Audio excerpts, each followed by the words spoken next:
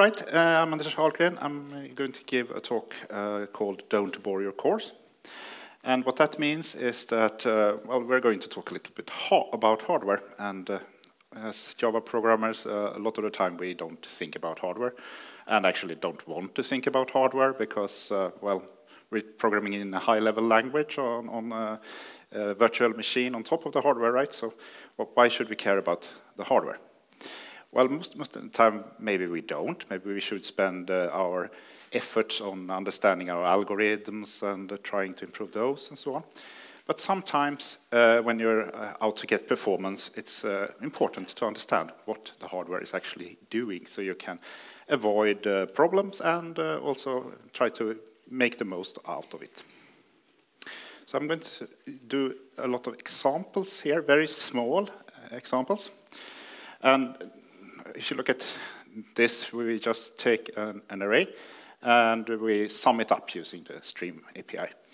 And now, this, just shouldn't think about this as, oh, this is supposed to be a, a hot um, part of our code and we're trying to optimize it. That's not what I'm trying to do with these examples. It's more like I'm trying to use very tiny examples to illustrate some property of the hardware, just to explain how the hardware works. So it's not, if, if you have a hot code that looks like this, you should definitely not try to fix it by introducing a parallel. You should think, why am I doing all of this summing, right?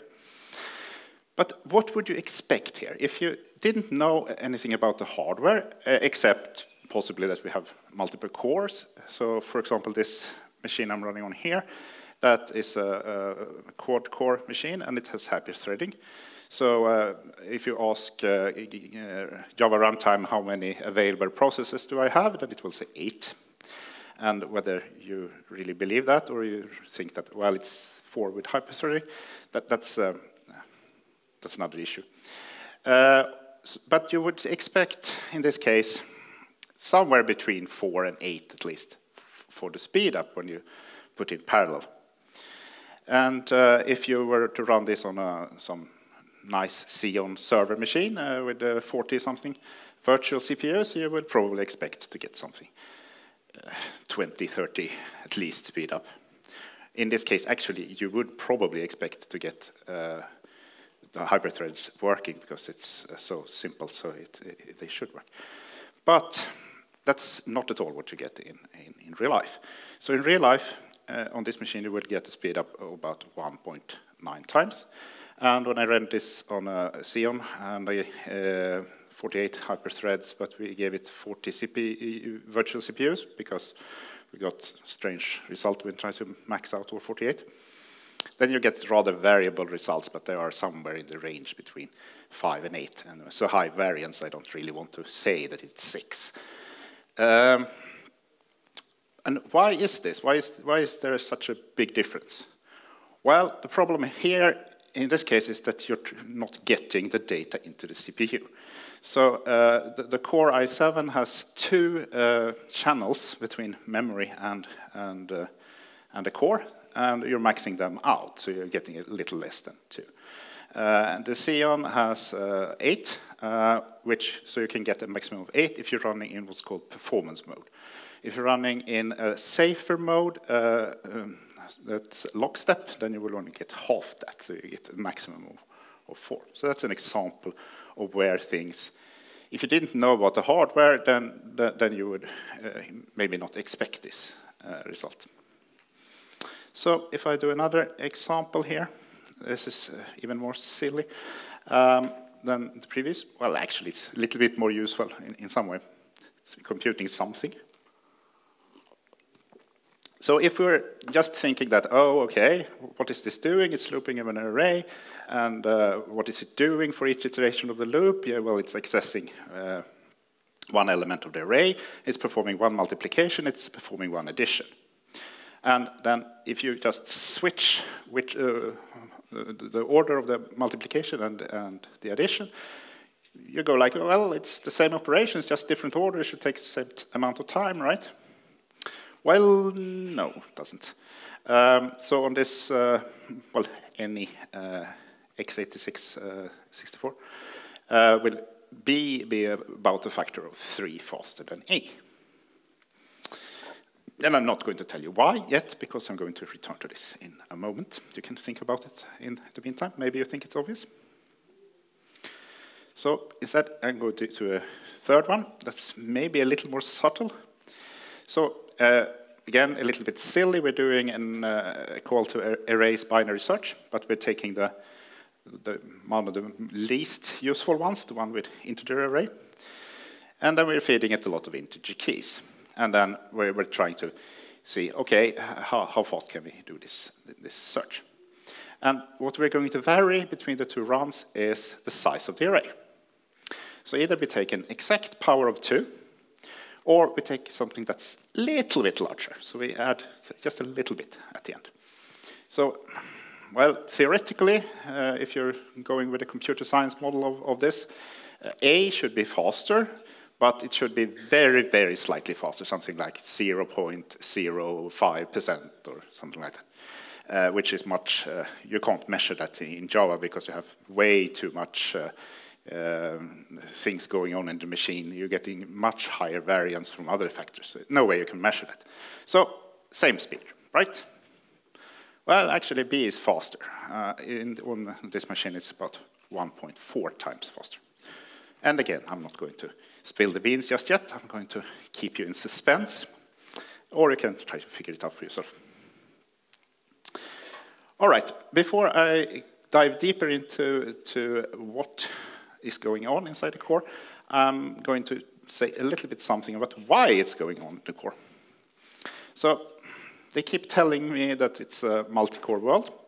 And sure, uh, if you look at, uh, for example, a Xeon um, Broadwell uh, from last year. 22 cores, that's, uh, that's many, right? But uh, what's striking is that they are so big. They are over 300 million transistors in a core. Uh, and if you have followed this for a number of years, you think, oh, that's a lot of transistors. Why are there so many transistors there? And, and if you compare to uh, uh, something that UC Davis um, did also last year, they built a 1,000 core uh, die, actually. And uh, that one has only 0.6 million transistors per, uh, per core. Uh, the whole thing with 1,000 cores is, is uh, less than uh, two, less than the equivalent of two cores of this, this Xeon chip. And they're using a process that Intel started using uh, seven years ago. So clearly they are not uh, doing uh, more advanced technology. They're just using the transistors in a different way. So, sure, we're getting more cores, but we're also having a lot of power inside each core. So that seems to be the priority. So clearly, if we're going to make the most out of hardware, we have to try to figure out what are these uh, transistors used for and how can we make sure we, we really don't just waste them. Uh, So uh, basically, when I say waste them, then I'm um, talking about the title of the talk. They're bored. They're working, they seem to be at 100% utilization, but they're really not doing as much useful work as they could. So, uh, for example, the first one with the memory uh, transfer rate, they're basically sitting around waiting for memory to deliver data for them. Uh, I'm sure you're also bored when you're waiting for coworkers to, to uh, do something, and you're just sitting there, come on, or waiting for the computer maybe. Uh, and then you start surfing, and yeah, well, you know. Okay, so let's get back to the second example here, the, one where we had a multiplication and we had an addition, and we swapped the order, and we got a big difference in, in performance. Well, the key uh, thing here first is that CPU can execute more than one instruction in parallel. That's what a lot of these transistors are used for. They are uh, executing, they, are giving the assembly instructions in a certain order, but they go like, hey, I can do this, and I can do this, and I can do this, and start doing things in, in all sorts of order, and then they sort of uh, put it all together at the end. Well, there is one obvious limitation here, is that you can't start to compute something until you have your inputs, right? That's, kind of the obvious, uh, and that's what the illustration here is. It's the handoff of the baton. It's, uh, you have to get some input to work with. So you have, a lot of the time you have to wait for some sort of handoff. If this was all that was going on, it was just the hardware uh, thing, then actually A would be faster than B because A can start the multiplication and uh, the fetch from the array element uh, in parallel, and then they would merge the result with, with the addition. Whereas B has to first get the, the, the input to the multiplication, so it has to get uh, the uh, array element, and once it has that, then it can start the multiplication. However, the JVM comes in here, and it's going to unroll this loop. Uh, if we run it exactly as it was on the slide, uh, then I'm getting that it unrolls it eight times. If I change it from int, uh, using int to int, uh, using longs, then for some reason it decides that four times is better, better unrolling. So it, it's a little bit uh, up to uh, decisions of, of, the JVM, and of course, which JVM you're, uh, you're running. I'm assuming Oracle here. Um, so what happens then if you unroll a few times? Well, the first one, you, uh, you, then you're dependent, the multiplication is dependent on the previous value of r, right? So you're go going to basically do a multiply, then you're going to do an add, multiply, add. You, you get rid of, uh, of the loads from the array, because those, except for the beginning of the very first one, uh, you can parallelize away. Uh, in the second case, uh, the, the handoff is just for a plus. Uh, addition is very cheap operation. So in, in there it's instead going to be like, okay, you're going to do the uh, load from the array, you're going to do the, the multiply, and then if you're doing more than four unrolling, you, you're going to have a little bit of um, time getting the results out. Um, it's like that old joke, um, if it takes three minutes to boil an egg, uh, how many minutes does it take to boil four eggs? Well, it takes three minutes. But if you're boiling eight eggs, in case of multiply, it's actually going, uh, well, what did I say, four minutes, three minutes. Uh, if you're boiling uh, eight eggs, then it's going to take four minutes uh, in CPU logic. So it's a, a little bit uh, different. And then you also have the, the overhead of the loop in both cases.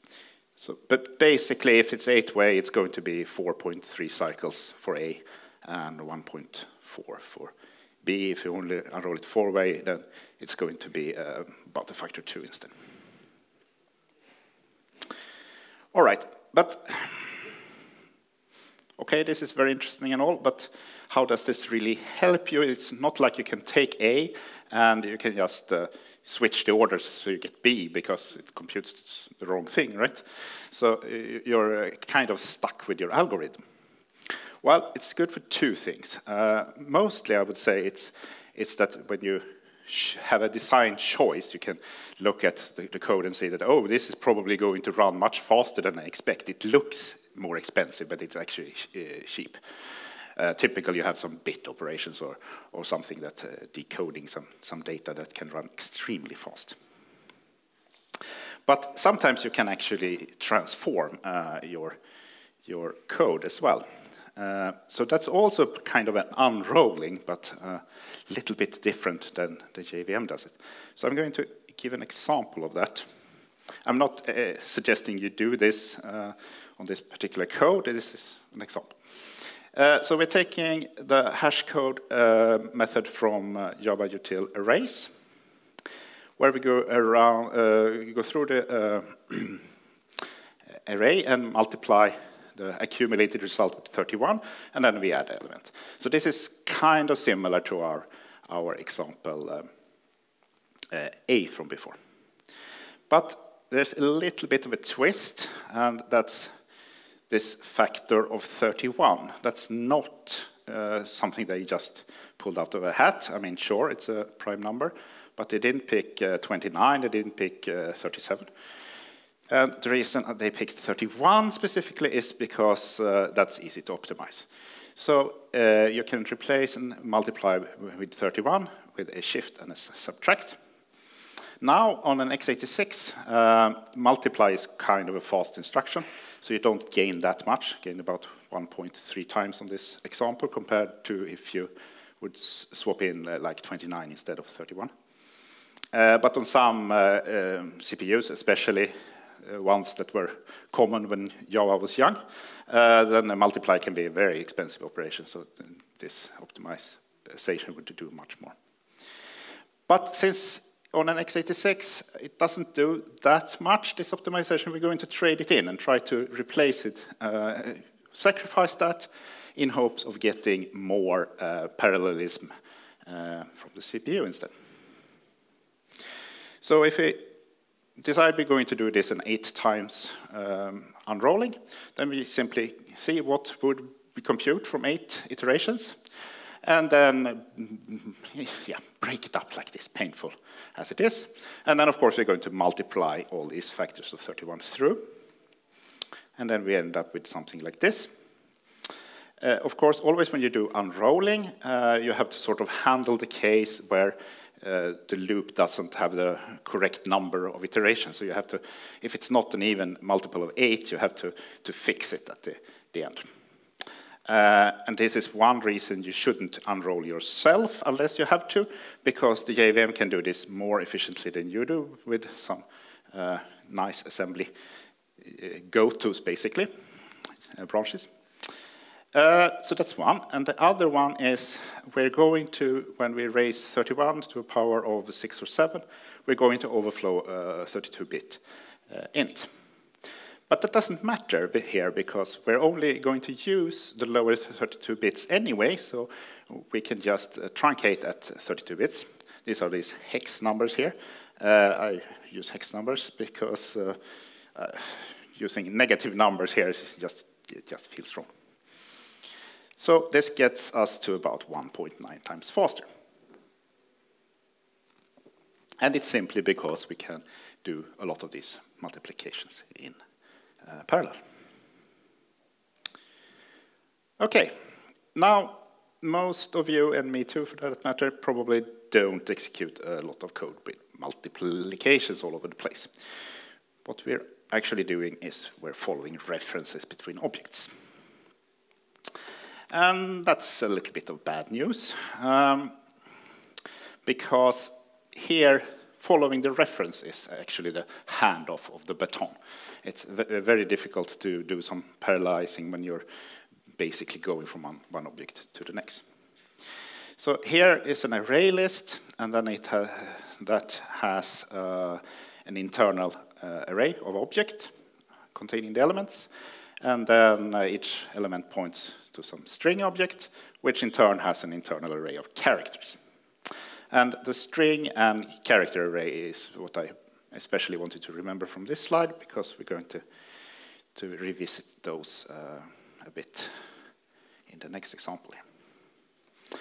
So another problem, except for the baton thing, is that it really matters to us where these objects end up on the Java heap which is something we have no control over.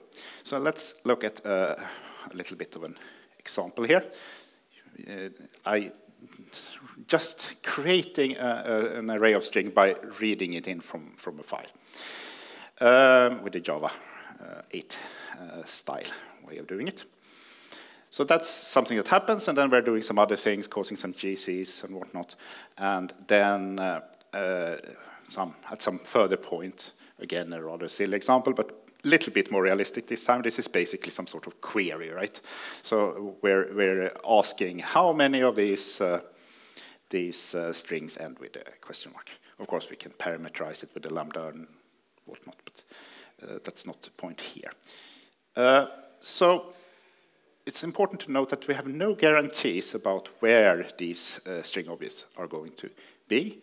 But in practice, they are going to be allocated the first string object, its internal character array, next string object, its char uh, internal character array, and so on, until, uh, we run out of uh, space in our uh, TLAB. And then uh, it's going to move the TLAB.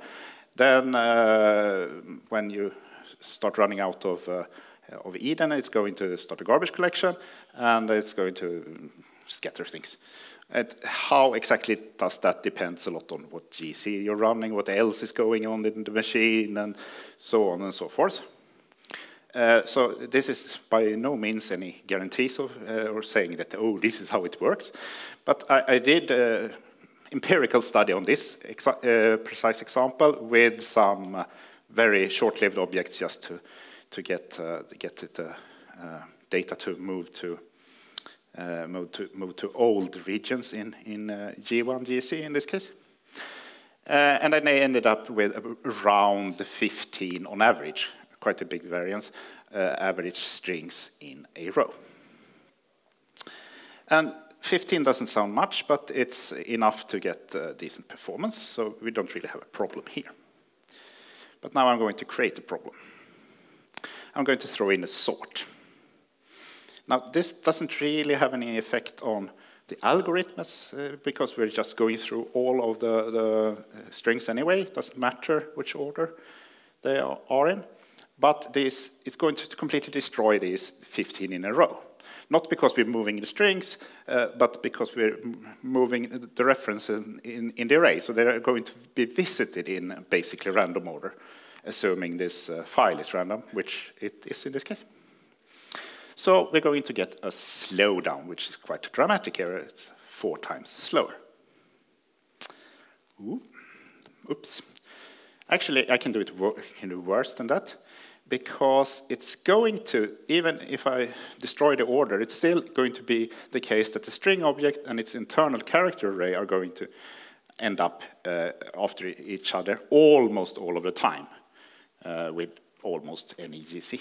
Um, so if I destroy that by simply creating new string objects to wrap the, uh, the character array, I have actually no idea why they even have a constructor like this, but they do. Uh, then I completely shatter all uh, memory location issues, and I get up to seven times slower. Woohoo! Great. Just what we wanted, right? Okay, so clearly this is something we should maybe look into a little more uh, closer and learn something about, right? But doing it this way with tricking the GC to do bad stuff for us and so on, it seems a little bit uh, uh, difficult to work with. So instead of doing it that way, uh, let's uh, switch these locations to ints. Uh, for the simple purpose to see what happens when we throw in different things. Uh, to the benchmark. And I'm using ints because uh, assuming you have a moderate-sized heap, uh, 30 gigs or less, and you're running on an Oracle JVM, then uh, the object references are going to be represented at 32-bit uh, values. If you're running on bigger heaps than that, uh, you would probably want to switch in longs here for the, in, in, the test instead. But I'm going to run with ints. So this example simply um, picks up an integer from the array, uh, looks at, oh, it's a reference to some other point in the array, going to jump there and going to jump around uh, the array, basically. So by varying uh, how the array, its size, and its uh, composition, I, I, can simulate uh, different uh, hostile or friendly situations. Uh, so this is the hostile one. We're jumping around in a very mean way. Uh, I say random, it's not quite random because I'm actually a little bit meaner than random. But then we can get it as slow as around 130 seconds uh, for a billion iterations on this machine. Uh, something very similar when I ran it on Xeon. If you run it on a desktop uh, uh version of a um, i7, then it's going to be a little bit faster, or at least was on my, my machine. So uh, first of all, we can note that it's a whole lot of uh, computational cycles, uh, clock cycles here. It's 140 clock cycles or thereabouts. That's a lot. But even more interesting, uh, I, I knew memory was slow, but until I thought about it this way, it didn't really hit me how bad it really is. So if you uh, instead think about it as bandwidth, what's the effective bandwidth for doing it, it like this? Well, it's only 30 megabytes per second. I mean, uh, you probably want to double check my results and double check the computation. It's that, uh, at least to me, it, first time I came across it, it, it's quite a shock. It's 20 times slower than a SSD, even if the SSD is uh, SATA 3 connected. Of course, that's not fair because the SSD is reading sequentially and we're jumping around like idiots, but uh, still, it uh, gives you some perspective about just how slow memory is.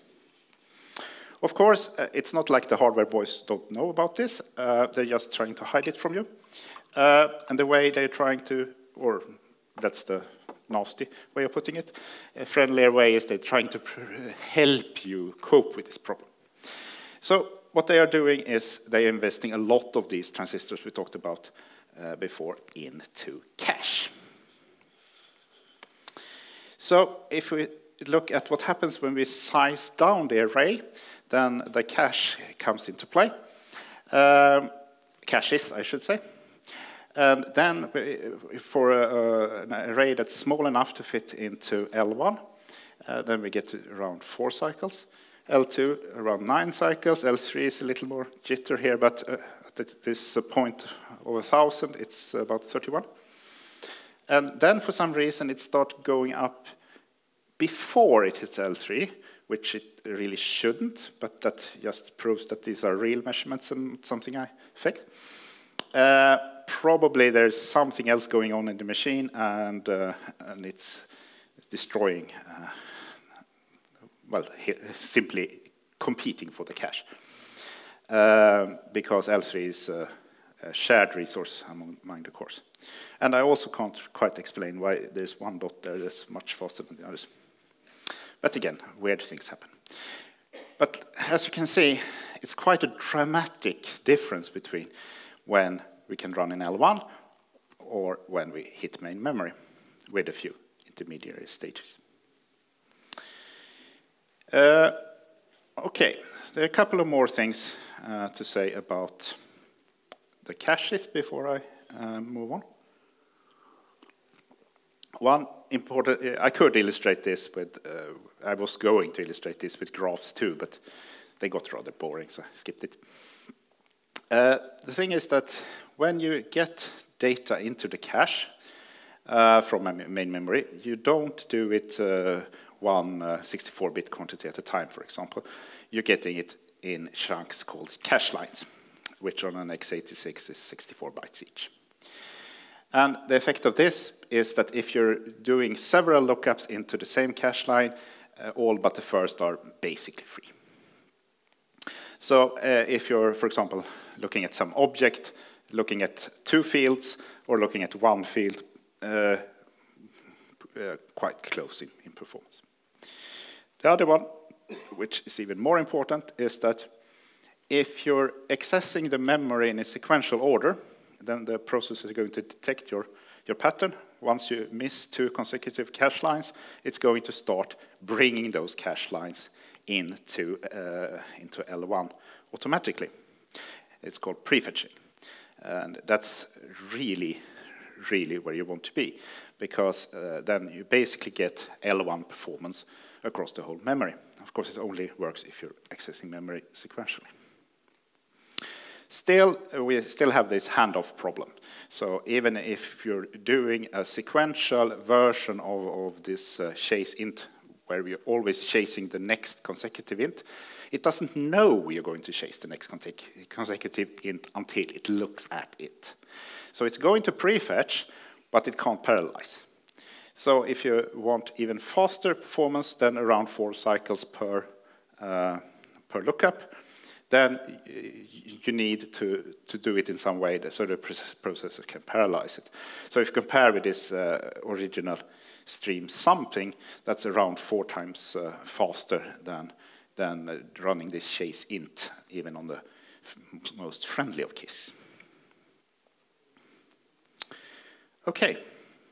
So that's uh, the background uh, about the hardware. And then, um, uh, yeah, one, one more thing there. Uh, just, people may think that, oh, what, now he's gone too far, 64-bit cache line, I don't want to code this into my, my program. Well, you don't necessarily have to. Uh, there are a uh, class of algorithms, uh, quite fun ones, called cache oblivious. Uh, they automatically adapt to the, to the caches without knowing anything about them. Or in practice, it's just get it somewhat right. That's better than, than getting it completely wrong, which you will if you just ignore it. Or do it sequentially. If you do it sequentially, it doesn't really matter. Um, then all you have to know is that the processor is prefetching. Okay, but this is all well and good, but um, how do you change how you code? Especially since, well, we don't really have any control over where these objects uh, lie. So here it's going to be a little bit more my experiences uh, rather than hard cold facts. Um, but there are some things that, that are sort of not in dispute, uh, like making sure that the fields that you're going to access uh, are in the class that actually accesses them. So you move around your fields. This is usually going to get uh, make your code uh, neater anyway, so just uh, see it as an extra bonus from that. And another thing is that it's something we tend to do as object-oriented programmers. We start by constructing some nice class. We draw class diagrams or whatever, and uh, then we write code to fit this, this data model afterwards. But I think uh, you usually get much nicer and certainly faster code if you sort of iterate it. So you, uh, you, you write some code and then you think, oh, okay, wouldn't it be better if the class looked like this instead? And you do a little bit of tweaking and then you harmonize them together.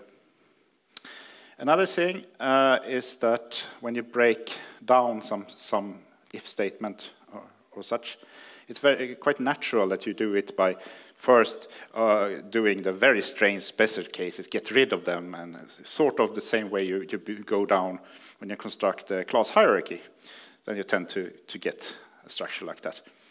Uh, but if you want to hit performance uh, things, then you should try to think about the most common, useful uh, center case first. So you get the, the straightest line through the, the code is what's called a happy path. Uh, this in itself don't get you uh, happy, uh, but uh, it fits in well with other ideas like this harmonizing data and code together and a couple of things I'm going to hit on in a moment. But here's the bad news if you're really, really going to go for uh, extreme performance when it comes to uh, cache things, then you're going to have to do some ugly, low-level, time-consuming, uh, ugly, uh, well, there is some hope. Uh, there's something called the Object Layout Project, where they're trying to give you some control over this. And of course, there's uh, this Project Valhalla that's been running for years and years about getting the value types into into Java, but that's uh, at least Java 10, probably not. I don't think they're going to have it for Java 10, actually. Uh, but before I go on and show you just how painful this uh, pain is, uh, then I'm going to uh, show you a quote from Knuth. This is very common that you get this thrown into your face, the middle part of it, the, about the root of all evil thing. That's not the one I'm interested in. Obviously, he was wrong about that, but it was written in, in 1974, and that was before frameworks were common. So, um, uh, but what I think is interesting here is the 97 and 3. Because uh, a lot of people talk about some 80-20 rule or some 90-10 rule, when, when you're supposedly executing 80% of your time in 20% of your code? Well, if that's the case, then just forget this. It's going to take you way, way too long, and uh, it can't possibly pay unless, uh, unless you have a very small code, code base running on, on thousands of data centers. Then maybe somebody would pay you to do this. Uh, but you know, most of us aren't in that space. Uh, so I actually have a bit of a solution for, for that if you feel that you're tending towards 80-20. From personal experience, uh, a previous generation of the product I'm working on, which is a, a non-relational uh, database, uh, there we had worked hard on optimizing things, and it was kind of like you, weren't getting anywhere. It was kind of little time here, little time there. And the new generation uh, tried to design this uh, 97.3 in from the beginning. And that worked out quite well. So going to cover that uh, towards the end here. But this is the main tool for uh, doing this today before, before value types or anything like that. So instead of using a, uh, an array of some small uh, class, like a point is a traditional example, I don't think it's very good, but most have seen it, so I'm giving it here anyway. Uh, where you have either you, you, put the x's into one array and, uh, oh, it's supposed to say y's there. I changed it to green uh, this morning, and I guess I forgot got a copy-paste error. Uh, or you can put them into the same point uh, array and, uh, and doing every other x and every other y, or you can pack it into longs or whatever. Okay, so this is not very much fun. I've done this on a lot of classes, uh, and it's, uh, well, not that many, but uh, I've done it a number of times anyway. but it's not that painful because of this 3%. Remember this, just a 3%. Uh, but if you want to do other things than just getters and setters, then things start to get a bit painful. Uh, I don't know why you would want to sort points specifically, but other things you might want to sort, you might want to hash, you might want not only have ints in there, maybe you have some strings or something. Uh, it's not, not, not that great.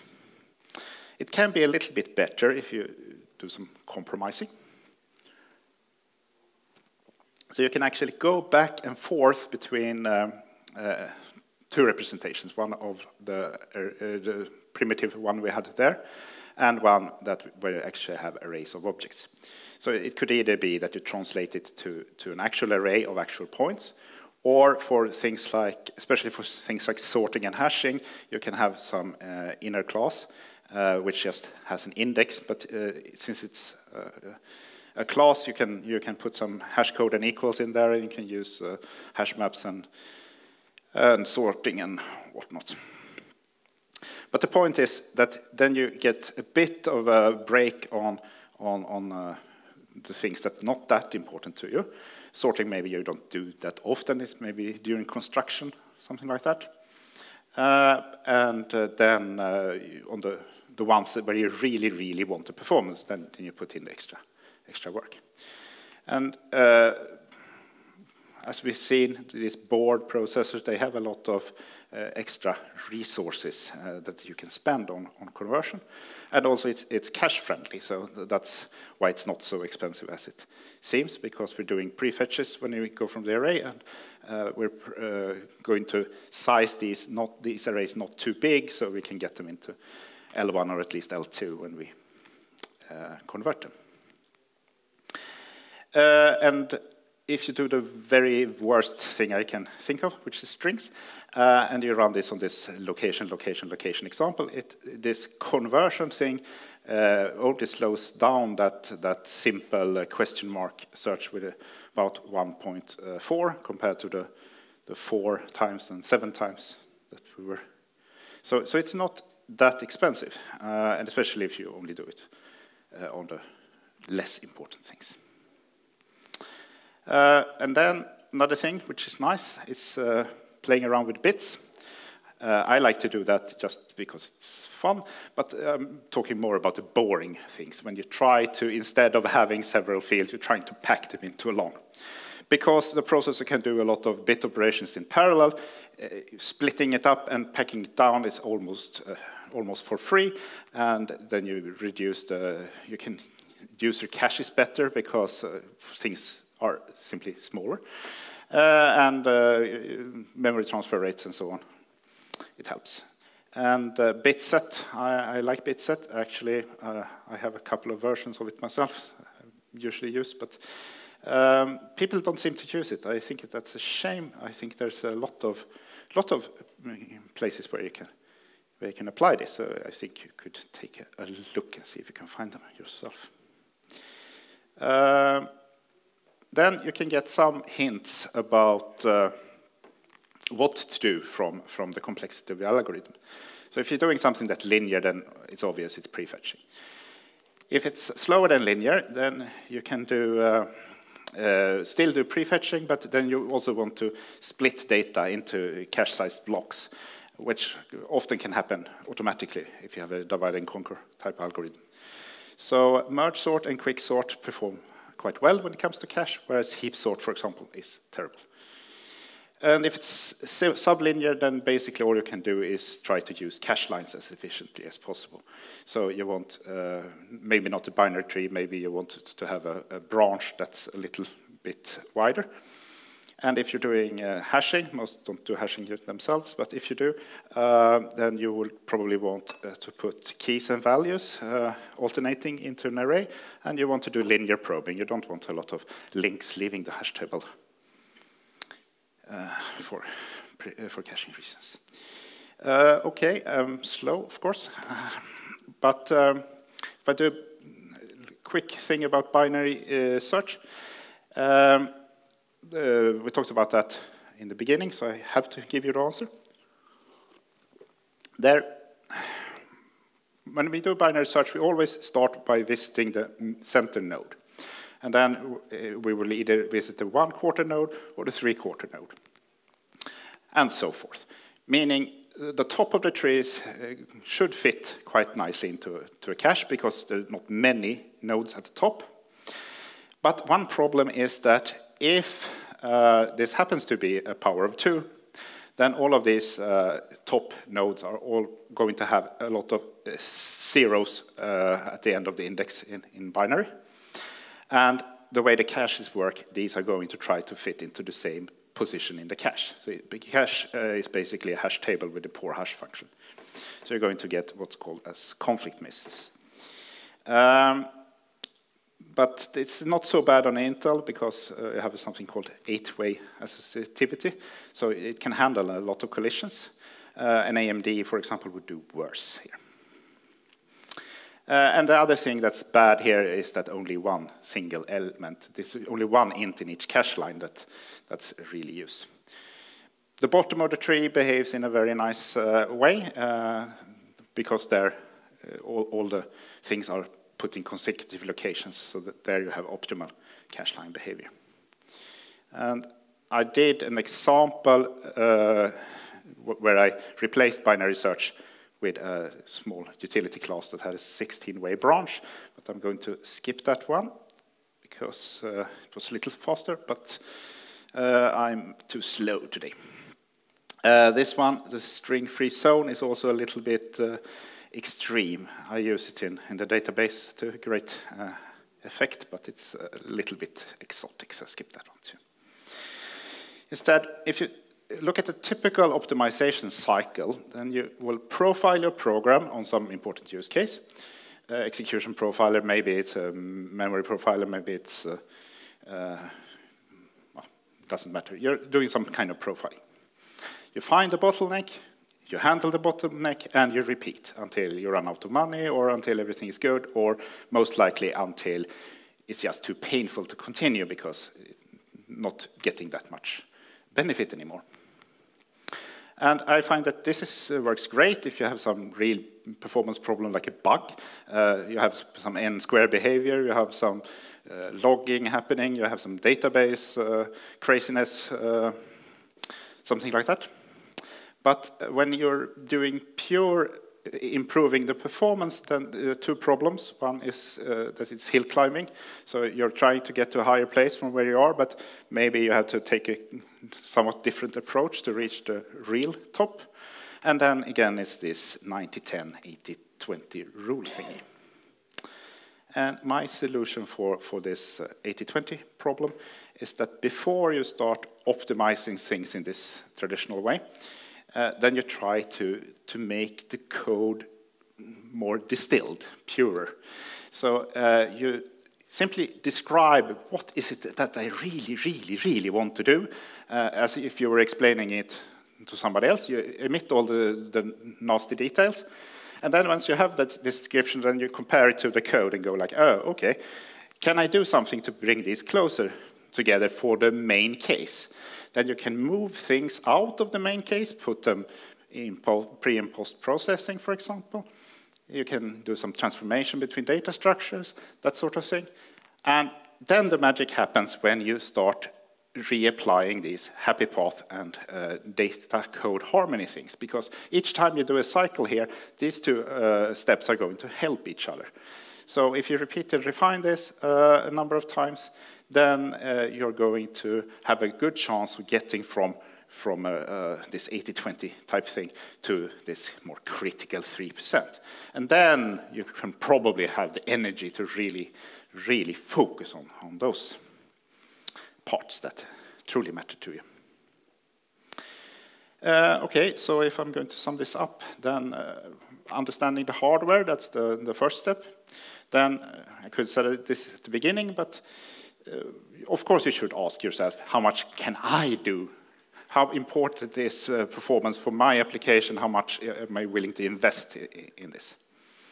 If, you want to go further, then it's like, oh, okay, which techniques of these uh, will apply? And you will have to modify them. I have invented uh, several of these for, uh, or adapted or invented them for, for my situation. You will have to do some adapting of your own. Uh, but uh, that's not easy. But, uh, you know, if it was easy, what would be the fun? It's the all about the challenge, right? So, any questions? Yes? how about early returns? Do they break the happy path if you do an early return? The happy path is um, mostly about trying to structure your code.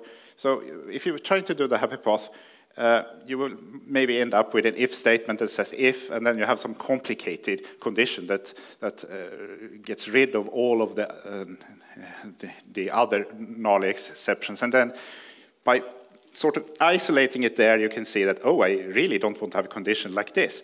And then you modify the data structure to fit. So it's not so much about the, the low-level code flow. It's more of a think, thinking about it. More questions?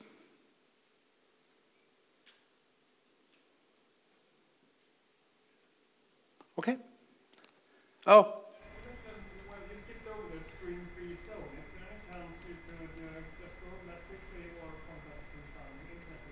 Uh, it's no internet resource. I invented this terminology myself. Well, basically what we do is we have a, a part of the database, in, in my case, uh, where remove all the strings that are in, in at least certain columns of the database and uh, code them as ints. So as soon as you're doing inserts to this part of the database, you have to, to get the strings, uh, look them up, convert them to the ints, create the database representation. Uh, now, this is not so bad if, if the, the, strings are already present in the database, which is very common in our case. But sometimes, of course, it's going to be a new, uh, new entry in the, the, database, and then you have to do some, some, some work to integrate, update that. Uh, doing that efficiently is a little bit tricky. And then uh, you work with the ints, uh, in uh, the case of the database, it's quite common that we have range uh, qu uh, queries. So we're going to have, okay, I want everything in this uh, column of the database to be between this string and this string. And then it's quite convenient to be able to do it by testing against ints instead of doing comparison strings. And then when, once you have gotten your result back, which is uh, coded as ints, then you have to normalize it back to strings when you return it to the, to the caller. Uh, so it's not for everyone, uh, uh, but we have found it to be very efficient for, for our use case. Okay? Is that it? Okay, thank you very much.